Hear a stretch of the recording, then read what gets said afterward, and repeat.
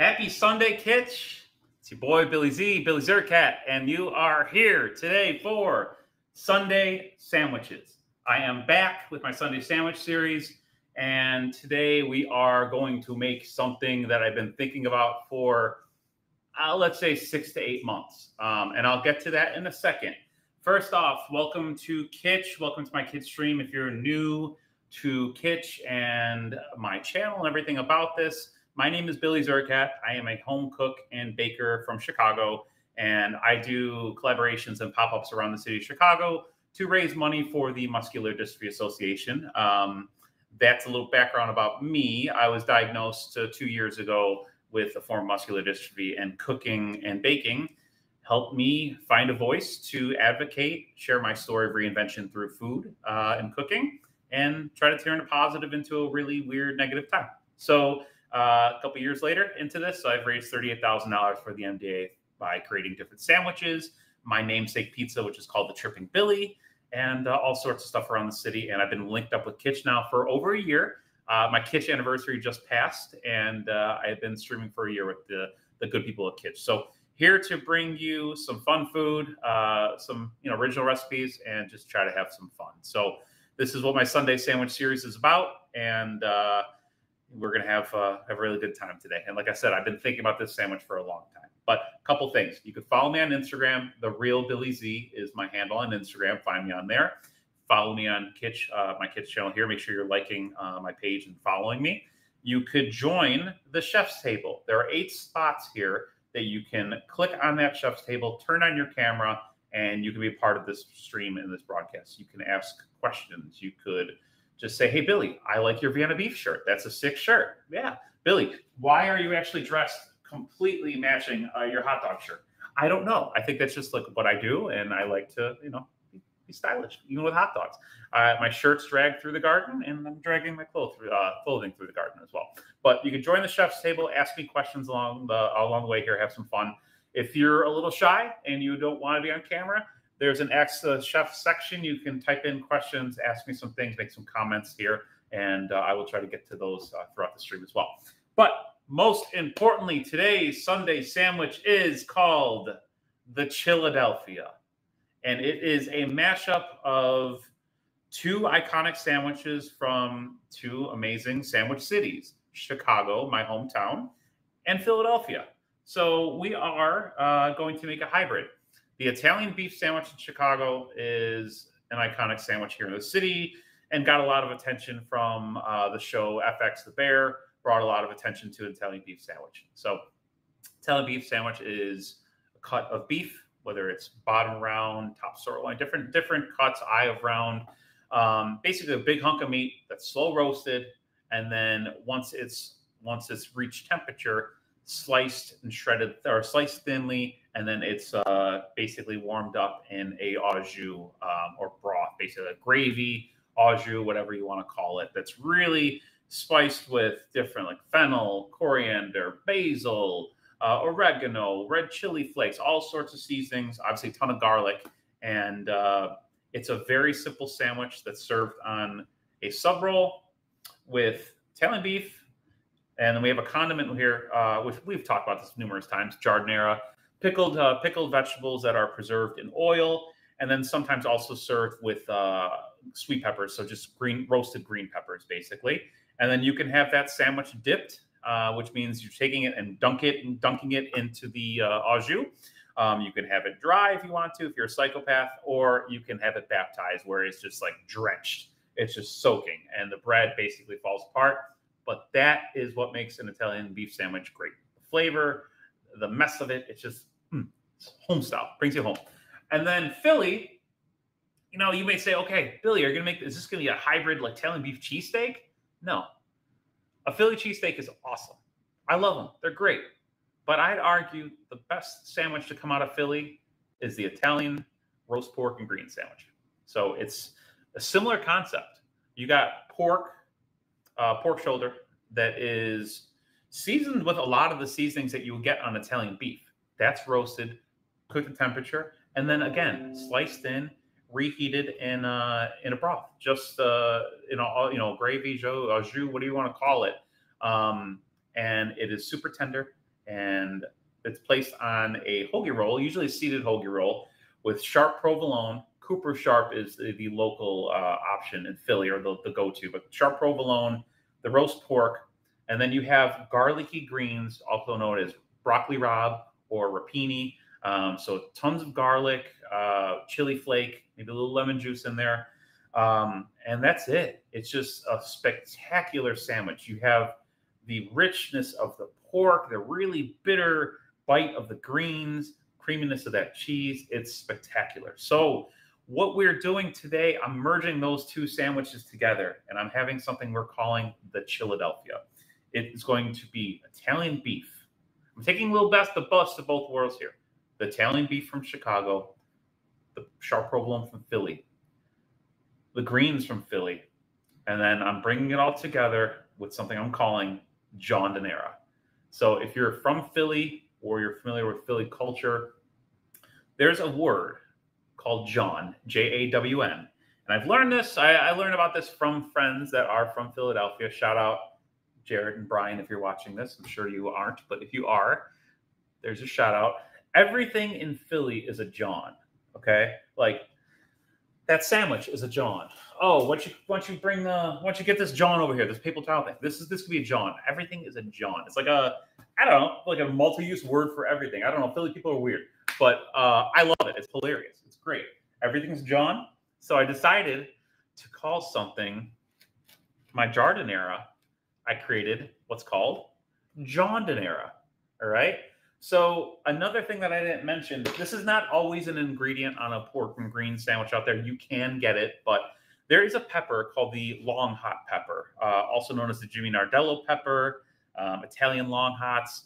It's a pepper that's really native to Philly in that area, uh, and really just the East Coast. Um, you can't really typically can't typically find them in Chicago, but thanks uh, to the Joong Boo Market, a great Korean market out here in my neighborhood, I found long hot peppers. And so I said, hey, why the hell don't I just make something? Why don't we make giardiniera out of long hots? I've never seen that before. I'm like, let's let's make history. Let's do it. So I uh, took some long hot peppers and sliced them up, pickled them, and uh, just sliced up a bunch of other vegetables. So got some carrot, got some celery, um, some cauliflower, some olives. Um, what else is in here? yeah, that's pretty much it. So I got that all mixed up, and also have some uh, some sport peppers as well in there. All of that was pickled and then preserved in some oil. Hence the Jawndiniera. All right.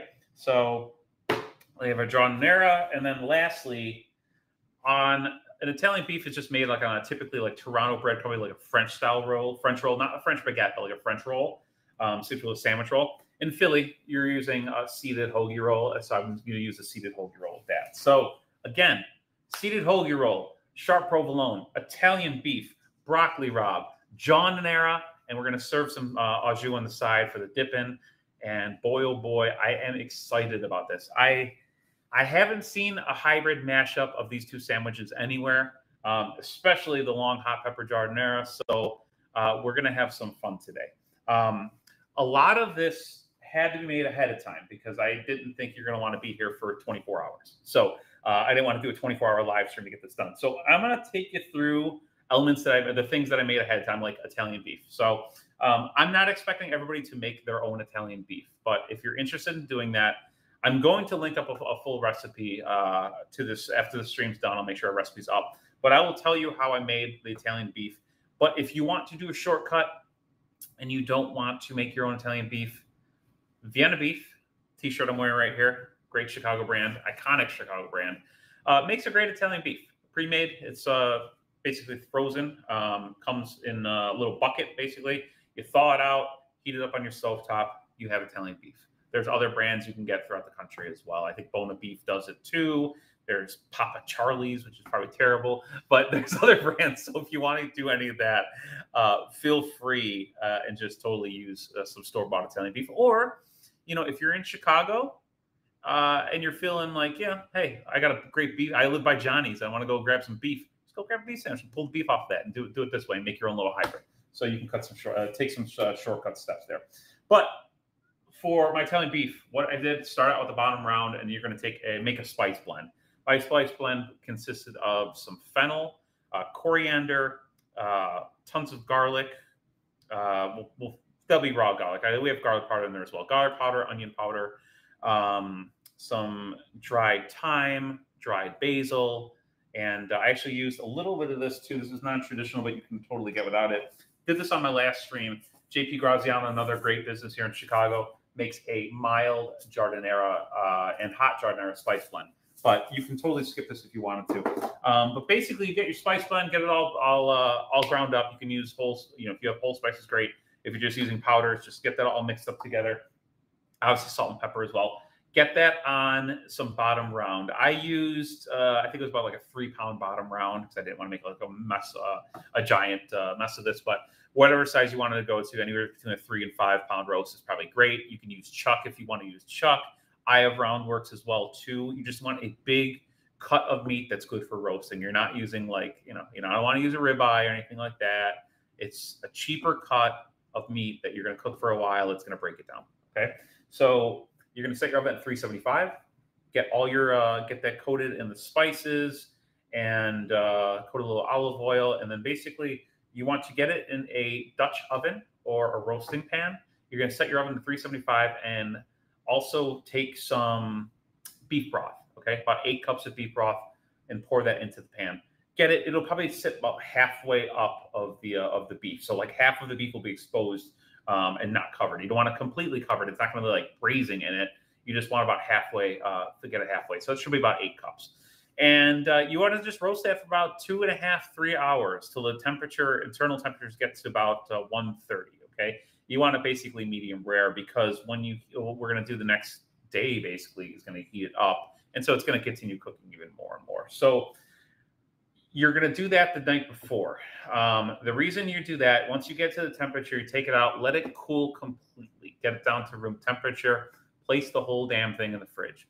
The reason you want to do that is you want to be able to slice that really thinly, and you're not going to be able to do that when it's when it's uh, warm like that. So once that sets, you're going to take the beef out of the fridge, set that to the side, and start warming up your au jus that's on your stove top now that you've already had from the night before. Make sure it's seasoned really well. You want that really salty, a ton of salt. They want to, if you take a little spoon of it, you want to be like, that's really strong, but you want that. You want it really salty and almost like an unctuous, uh, unctuous flavor.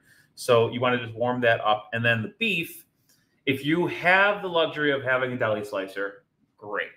That's awesome. I don't have a deli slicer. A friend of mine has one. I was able to take it to him. He can he can slice it for me if I wanted to. I actually uh, took a tip from a friend of mine uh, who's used the mandolin. So I had a really large mandolin, and I just got slices, um, pretty thin slices on there, uh, and just sliced it out. You don't have to do that even if you just want to just simply um, use a knife and just try to get as thin. You just want to get as thin slices as possible. Okay, you're not looking to shred it. You just want thinly thin slices and so the next day, and then what you want to do is just get your your au jus warmed up. Now you don't want it boiling; you just want it warm. And then you're going to take your slices and drop it in, and just let it sit and soak up, and basically sit in your broth. And this is what this beef is going to look like. Okay, I've had mine now sitting for a while. Yeah, you hear that? That's dripping. That's dripping. So that's your Italian beef. Like I said, if you don't want to do that, if you don't want to take a two day process to make Italian beef, you totally don't have to do that. Um, but it's fun. Cooking's fun. Take on projects. It's great. Keeps you busy. Keeps you off the street. You know, you don't want to, you know, got there, you know, messing around, being a punk. Uh, stay off the street. You know, I don't know why I'm assuming all, all punks out there or anything. But uh, I have also have a guest in the kitchen today. Winnie, come here. Winnie. I have a wiener dog in the kitchen with me named Winnie. So there's a hot dog in my shirt. There's a hot dog here and there on the on the floor. I'm um I'm dog sitting. I have another wiener dog myself, Einstein, which you've probably seen on a stream before. Um, but she is my little uh, sous chef in the kitchen today. So if I drop anything, Winnie um, will pick it up for me. So there's not a lot of really cooking we're going to be doing today. Only thing we want to do is get our broccoli rabe ready, and uh, and then we'll be ready to go. So, um, broccoli rabe is also known as rapini. Rapini is a bitter green. Um, it's uh, It's really sharp, really bitter, but it's excellent. Uh, it's one of my favorite, honestly, favorite vegetables in general. Uh, and it's very easy to make. So you get a bunch of broccoli, rabe. Um, and again, to save time, I did this a little ahead, ahead of time. But you want to blanch this. You want to partially cook it um, because sometimes the stems can be fibrous and they don't cook as quick as the leaves do. They're going to wilt pretty quickly. But what you want to do is get a pot of salted boiling water, drop these in for about two minutes. After two minutes, you want to drop them into an ice bath to shock them and stop it. It'll keep a bright green color as you see, but also partially cooks uh, cooks them. So now what we want to do is we want to get this really garlicky and um, get it like kind of charred in spots as well. So what I'm going to do, these are kind of long and I want to basically cut them into segments here. Okay. So got our broccoli rabe. You want to dry it. I've had these drying for a while on a paper towel, also on a, on a wire rack. Um, you just want to cut these into more manageable sections. So I'll probably take it into three. I'll cut this whole thing into three. So just one, two, eh, three cuts. Okay. So we got the stem. Stems I'm actually going to go a little smaller in the stems. Okay. Um, and what we wanted to do now is in a in a pan. I'm going to use a carbon steel pan. Use a non-stick, whatever you want to do, over medium heat. Get that warmed up. And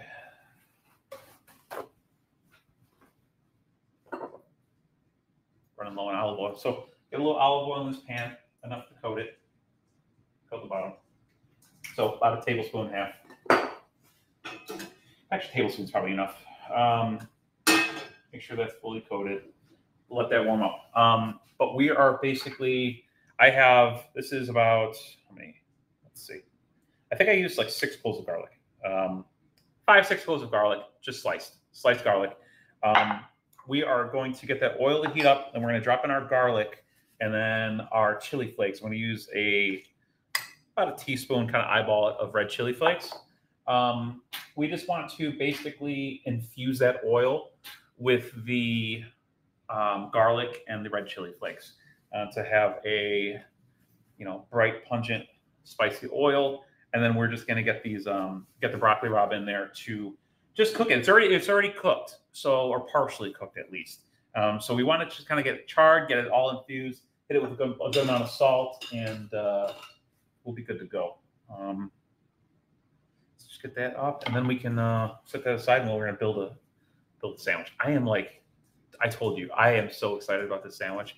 I can't wait. I've been thinking about like, I just want to share. I've been trying to share like the elements of it, but like, I'm paranoid in my head, thinking like, if I release the ingredients of the sandwich and the build of it, someone's going to make it ahead of me, and I want to be the first. I want to be the first person who broke the barrier and said, "Hey, listen, Philly, Chicago, Bears fans, Eagles fans, Sox fans, Cubs fans, Phillies fans, come together. We're going to put our hands out. This might be the time that we have to apologize and say, you know what? Our Philly fans can apologize. Say, listen, we're sorry about the double doink. Okay.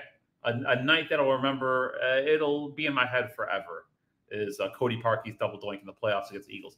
But this sandwich is going to bring our two cities together and say, you know what? Philadelphia, let's lay back. Let's have a beef sandwich. Let's have a roast pork sandwich. Let's combine them. And let's have some giardiniera.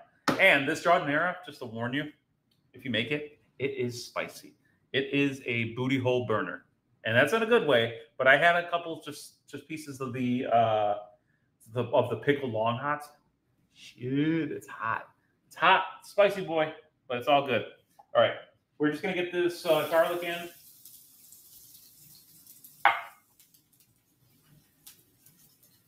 chili flakes in and just get this moving.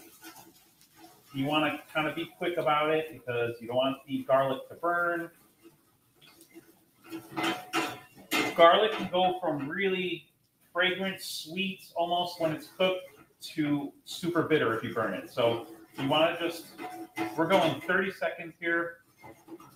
30 seconds just to get this softened, maybe a little color on it. And then careful, you want to make sure that this is dry, but uh, get your broccoli rabe in there, okay? You're gonna have some sizzles.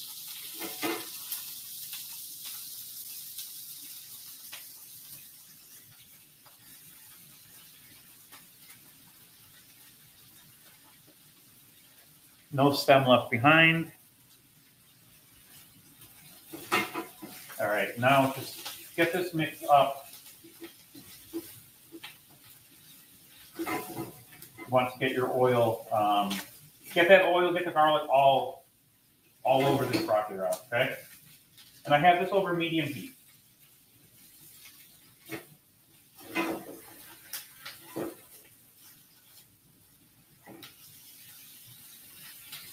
Just stirring just to get the garlic and everything completely coated. And then I'll just let it sit for a couple seconds and pick up some color.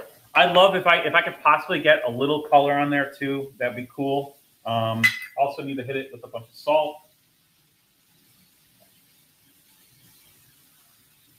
A little black pepper.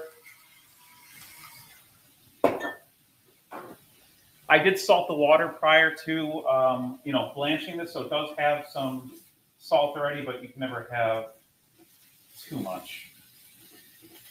I'd rather have it a little saltier than not very salty at all. So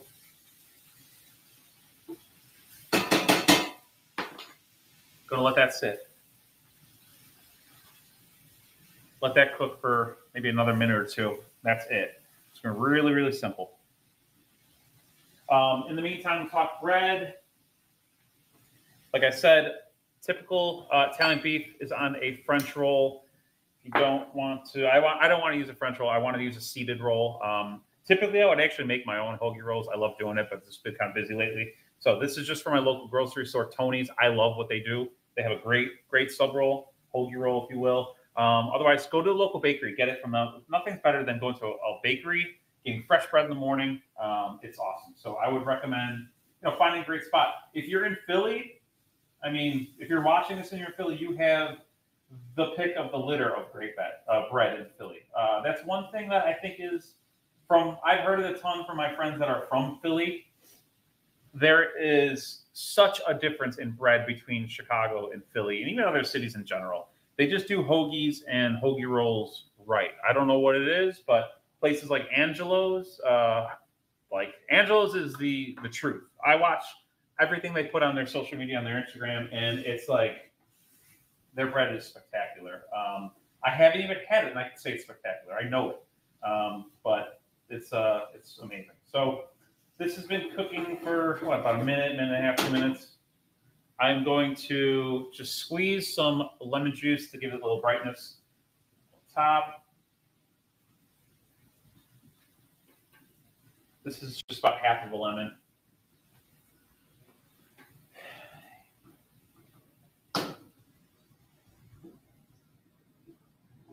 Do a little taste test.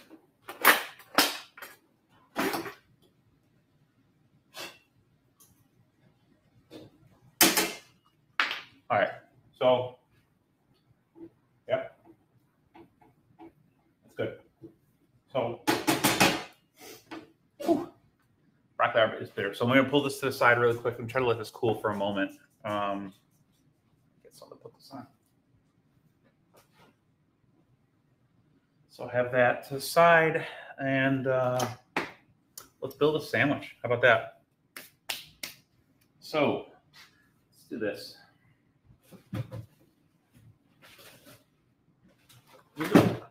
Debating if I want to wrap this up uh, into a sandwich wrap, but I think I'll do my other ones, but I'd like to usually wrap this up. Italian beef sandwiches are typically wrapped in the paper um, because it helps just kind of keep it together. So I think actually I'll, I'll just do that anyway. So some parchment paper.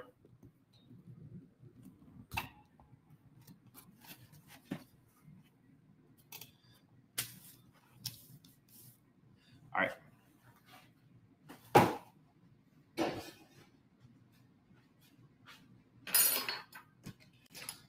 All right, guys. It's time to build. All right, so I sliced open this bread and I left a, I didn't cut completely through it. I want to leave a hinge um, so I can kind of get this open, but it still stays together. Okay, so careful when you uh, when you kind of get that together there. So we're going to start out by my provolone that I got. The sharp provolone was in a um, basically like a block of it, um, a small like triangular block. I would say it's not like slices of, of cheese. You can have you have access to sharp to Cooper sharp provolone in Philly. I don't have that here in Chicago, so um, I just took uh, that block of cheese and I just sliced off really thin uh, slices. So just layer of cheese on the bottom. I'm gonna go cheese on the bottom first. The reason is I want the the beef that we're gonna put on here. Um, let's do it this way. So beef will essentially get this melted. So we've got our beef.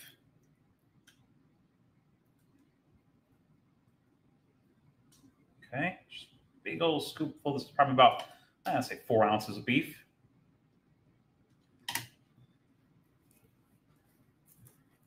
And then let's go.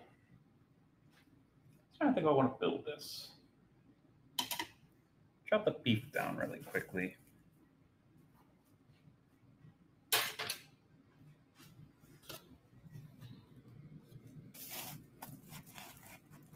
So I'm go two ways. I'm debating if I want to put the, the giardiniera on first. So typically, the Italian beef sandwich, it's beef, and then you got the giardiniera right on top of it, or the giardiniera, I should say. Um, but thinking, yeah, you know what? I'm gonna go giardiniera second, second layer. Okay, so giardiniera is going on second here. So we're gonna get this. And this was spicy, so I'm going to kind of go, I'm going to go over the top with it. All right. Get that, press into it. And then lastly, I mean, this is right, this right here, I would just, this is just a great Italian beef right here. All right. This John giardiniera is basically just a spicy jar. But let's get some of the greens on here now.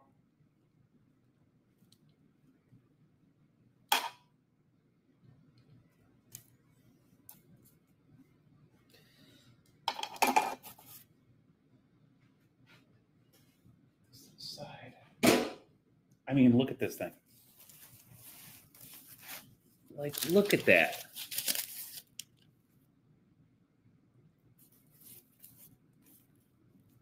Look at that. All right. So I'm going to go ahead and do a full on wrap of this. Okay. So here's your, here's your sandwich. Now, just take this, get one side, and then tuck that under. Roll it over, bring in the sides, and then just tightly roll that. All right, let that sit for a second. We'll let the, the heat um, melt that uh, melt that uh, sauce, let everything melt together. And then what I'm going to do here is typically, like I said in Chicago, you can dip your sandwich. Um, I didn't want this to be a soggy mess when I ate it, so what I'll do is get some au jus on the side, and we'll dump it.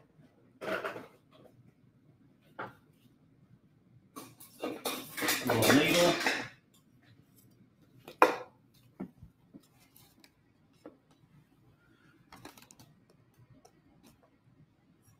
Little Joel Embiid dunk here. So just scooping out uh, a couple spoonfuls of the au jus.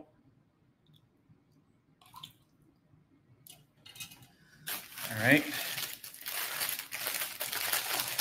I can't wait I can't wait. I can't wait. This is gonna be awesome. All right. So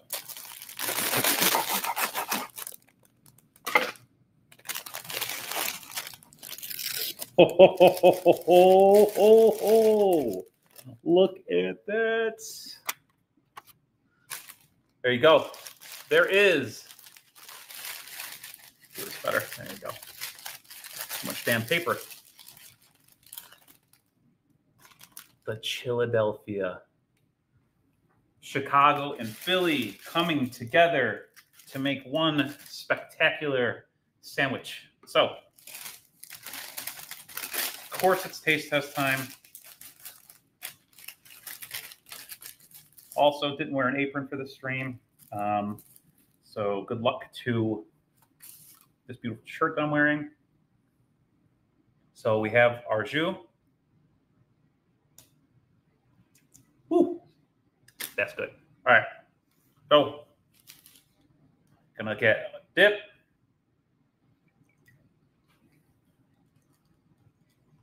And cheers to the Chiladelphia.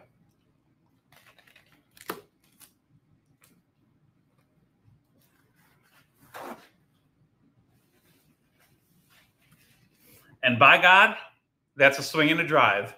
Deep right field. That one's gone. All right. That is a home run. Philadelphia, Chicago, Italian beef. The Giardiniera gives a spicy, spicy, vinegary cut into that beef. The bitter broccoli rabe, the melted sharp provolone, seeded roll. This is the Philly Post roast pork sandwich is hard to beat as what I think it's my favorite sandwich, but honestly, give me beef inside of that baby instead of pork. And boy, oh boy, this Giardiniera slaps. So, I mean, I got another bite of this. That's ridiculous. That is absolutely ridiculous. This is Sunday sandwiches. Every Sunday, 11 a.m. Central Time, I'm bringing you an original sandwich recipe. Um, you can go back on my uh, on my page, my Kittch channel here. You can scroll through and watch my Sunday sandwiches from last fall. This whole thing started during the football season. I wanted to create a different original sandwich every Sunday coincide with the Bears' schedule because they were going to stink last year. I needed something um, good to look forward to. Nothing better than a sandwich on a Sunday. So that was my idea at first. But then as I started, uh, you know, thinking about it for a while now, like the season ended and I kind of stopped. I'm like, why don't I just do this every Sunday and put together original sandwich every Sunday? And so last week we did the Lions King, which is a lion's mane mushroom uh, Parmesan sandwich, was uh, pretty awesome full recipes on there. And that's one thing that's different this year than last year. Every week, excuse me, burping up beef. Every week, I'm going to be making sure that the obviously the streams will be up, but I'm going to put recipes up so you can make these sandwiches as well. So uh, make sure that you are signed up for a kitchen account so you have access to all our recipes. Make sure you're following me. Follow me on Instagram, the real Billy Z, as well, and uh, make this sandwich. The Chiladelphia it will it will be mark my words if you're in chicago this will be a future collaboration um, sandwich and you will be able to try it because the people need this. This is a special sandwich. So i hope you guys have an amazing sunday. Thank you for watching. Uh, if you watch live i appreciate you. If you're watching on demand you rock too. Uh, leave me a comment on my page. Tell me hey i love this sandwich. I don't like this sandwich.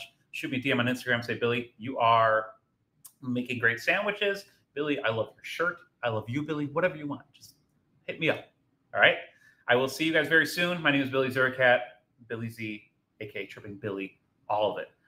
Thank you for joining me this Sunday. I'll see you next Sunday. It is uh, Mother's Day, I believe, next Sunday, but I'm still going to try to get a sandwich out early. Um, we're going to have some fun. So I love you guys. Appreciate you. Philadelphia rocks.